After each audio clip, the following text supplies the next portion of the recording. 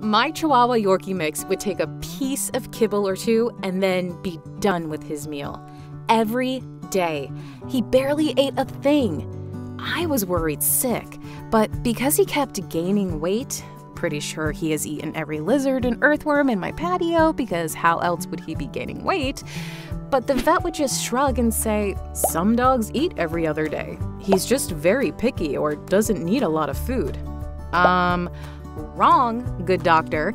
He didn't like his food and he would eat every third day because he was starving and had no choice. So, I took matters into my own hands, as we all should, and I searched around for the best for picky eaters. I heard about TruDog and I ordered the booster. I gave him a little taste, and in seconds, TruDog was gone. Extremely long story short, today is day two of eating the Feed Me Beef Bonanza, and he has energy. He is playful. He used to mope around the house. And now I see the food was all wrong before. I am so happy I found this product.